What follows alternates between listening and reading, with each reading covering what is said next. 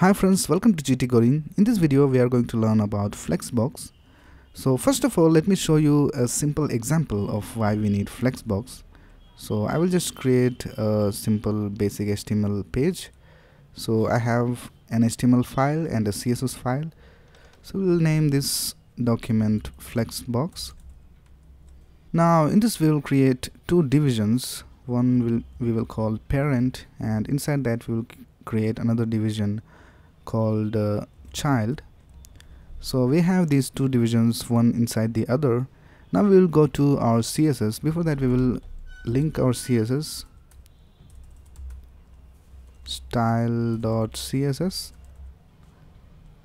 now in our css first of all we will do some basic resetting. Set the margin to 0 padding to 0 and box sizing to border box so we will now style the parent. We'll give it a height and a width of 400 pixels. We'll give it a background color of yellow.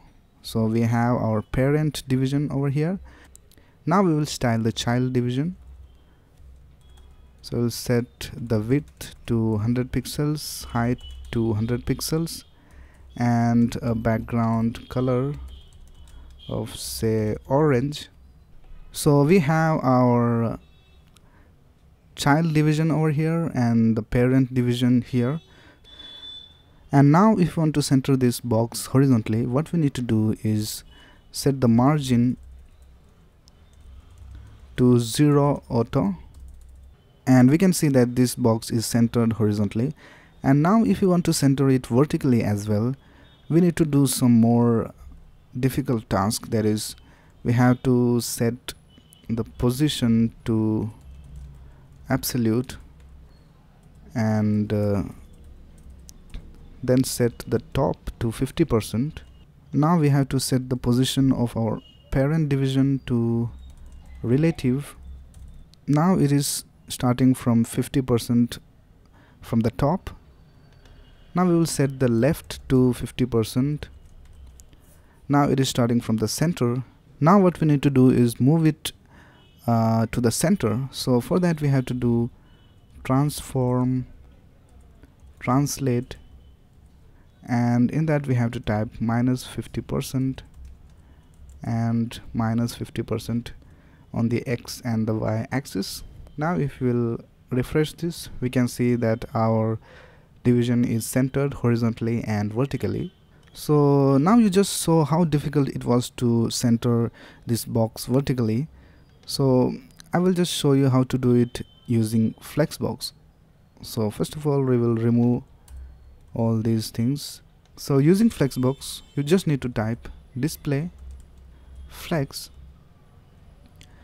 and type align items to center and justify content to center we can see that it has been centered vertically and horizontally with just three lines of code.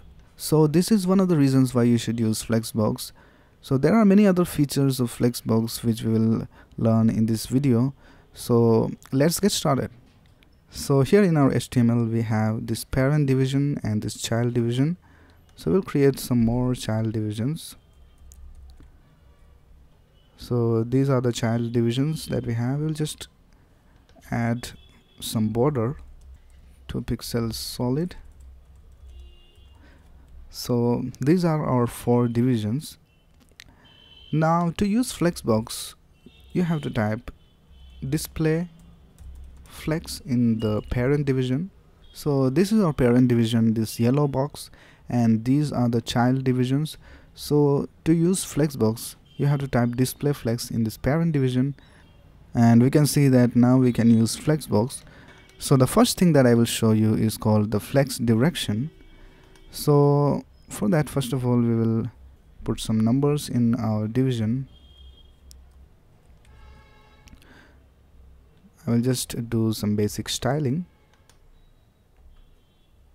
So these are our child divisions and this is the parent division. Now there are different uh, properties that we can use. So first of all we will look at flex direction. So there are different options over here. So by default it sets the value of flex direction to row. So now if we'll set it to column we can see that it changes the direction and it uh, it is placed column wise and there are other options like column reverse. So what column reverse does is that it will start from the from the end. So we can see our first first child is starting from the bottom and then it goes to the top. So this is how column reverse works. So in the same way we also have row reverse. So here the children will start from the right and go to the left. So this is all about flex direction. Now the next thing that I want to show you is called flex wrap. So for that we will just add some more of these divisions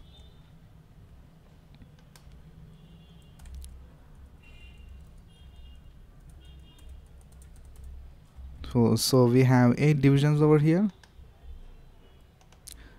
So here we can see that as we add more and more uh, child divisions um, each of these divisions are shrunk and uh, and if you don't want this kind of effect you can do flex wrap and set it to wrap. So here we can see that it goes to the next line. So in this way if we add some more of these child divisions. We can see that it is wrapping and it goes to the next line. So this is how flex wrap works. Now the next thing that we'll learn is called justify content. So we will just remove all these things. And we'll also remove some of these divisions. So now we have three child divisions. And uh, we will just type justify content. And if we type center over here we can see that everything moves to the center. And there are different options over here. So by default it is set to flex start. So it will start from here. Now we can set it to flex end where it will align itself to the right. Then there is the option of space between. So here we can see that it starts from the uh, left corner and goes to the right corner but it gives even space between all of these child items. Then we also have another option called space around. So what this does is that it gives a little bit of space uh, in the beginning and the end. So this space over here is twice the space of this over here. So this is how uh, the child divisions will be placed when we say space around. And there's another called space evenly now all the spaces in between and the front and the end will be the same. So we will see so these all these spaces are the same. So this is how justify content works. So the next thing is called align items. So we will type align items. Now there are different options over here. By default it is set to flex start. So it will start from uh, the top then we can set it to flex end. So which will um, align it to the bottom. Then we also have the options of align items to center. It will center it horizontal uh, it will center it vertically.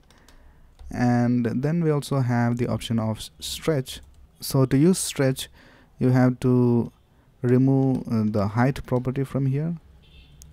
So this is how stretch works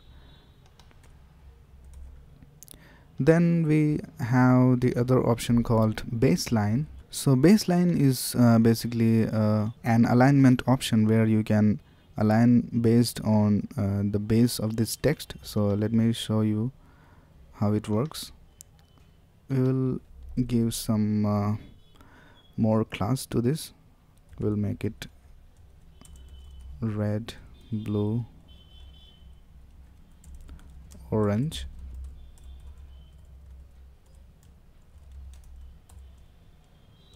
so here we can see how uh, the baseline option works. So this is the bottom of the font. So everything will be aligned using the baseline of the font.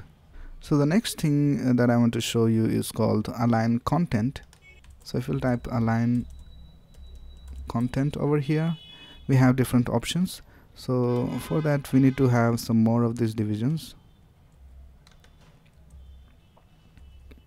and we will also set the flex wrap so with align content what you can do is if you set it to center we can see that both these lines of um, divisions will be centered vertically.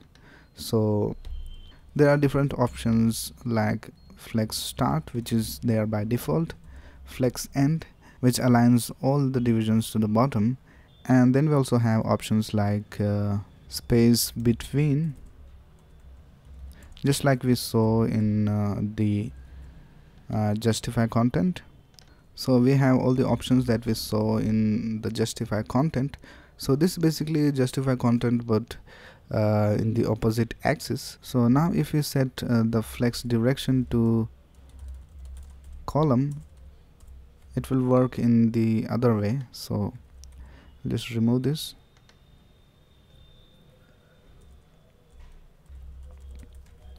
so here we can see that it works in the other axis. So this align content and justify content depend on the flex direction. Alright so now we are done with the parent division. We will see what we can do with the child division.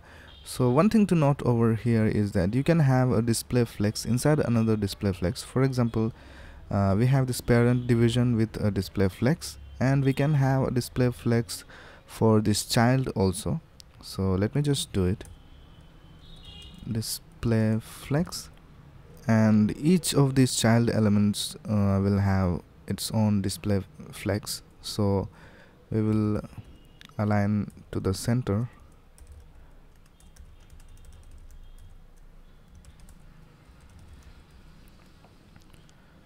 So we can see that all these uh, numbers are centered because each of these child elements are of display flex. So let's get started with what we can do with the child element. So here we can see that we have this child division. The first property that I'm going to talk to you about is called the order property. So using order you can um, basically order these things in different ways.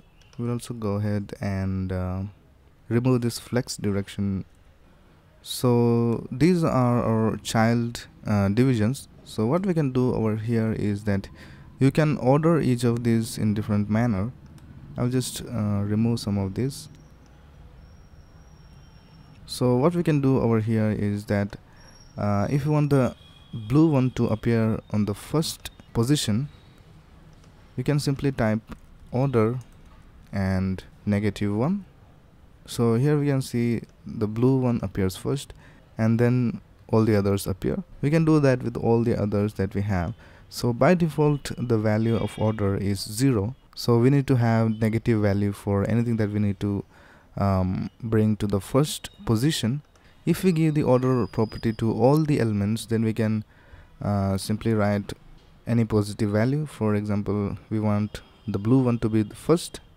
We want the orange to be the second and the red to be the third.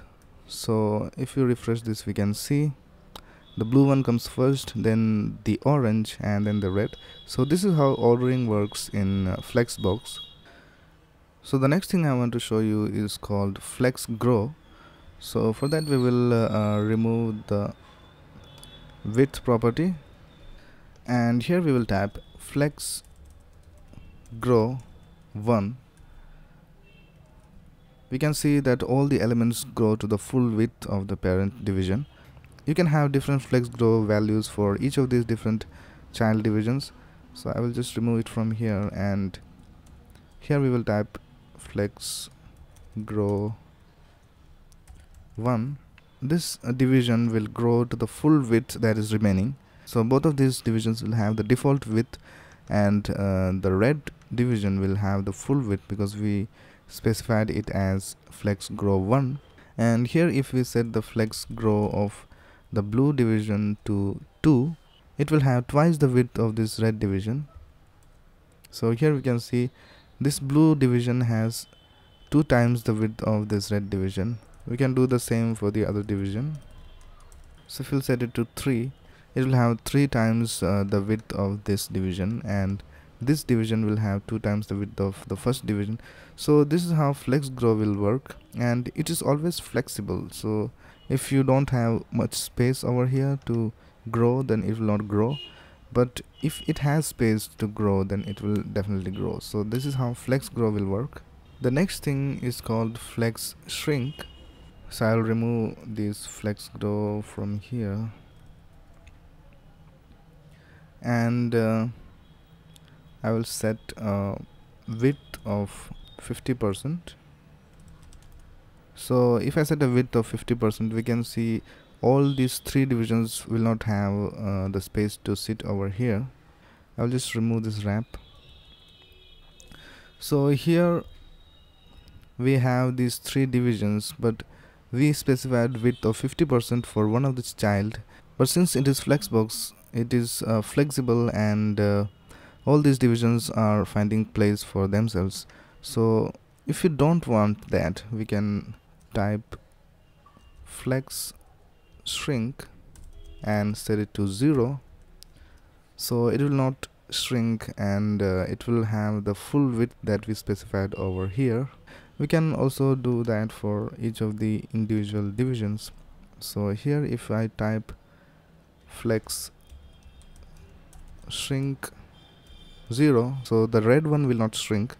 Here we can see the red one has uh, 50% width and both these divisions have the remaining width. So you can do this with all the other divisions that you have and I think you got the point. So the next thing I want to show you is called align self. So we can have alignment for each of the individual divisions. So if you want the red one to be aligned to the bottom we can type align self. And here we will type flex end. So it will align itself to the uh, to the to the bottom. And if you want the blue one to align to the center we can say align self. It is just like uh, the align items that we had uh, in our parent division. But using align self you can align the individual divisions. Now the last property that we will see is called flex basis so it is basically the width or the height of uh, each of these divisions. So here if I will uh, type flex basis and uh, say 30% we can see the width changes and all of these uh, divisions have a width of 30% we can do the same with uh, the child elements. So here we have a 30% width for uh, the red division and all the others have the remaining width. So if you have the flex direction to column it will change to height. So I will just show you flex direction to column. And if I set the flex basis over here and set it to say 10% we can see it acts as the height of the division. So flex basis uh, is basically dependent on uh, this flex direction. If the direction is a column then flex basis will act as the height. And if it is row then it will act as uh, the width of the division so this is basically uh, some of the basic concepts of flexbox. I hope that you have understood how to use flexbox. In the next videos i will show you how to use these flexbox uh, concepts and use it in a real world example. I'll just show you what we will build in the next video. This is what we are going to build in the next video using flexbox. So if I increase the size of the window you can see uh, the UI is flexible and if I decrease it to some certain size it uh, changes the layout and uh, this is all done using flexbox. So I hope that it will clear some of the doubts that you have. So by the way if you like this video please click on the like button and uh, subscribe to this channel to get the latest video updates. Thanks a lot for watching. Have a nice day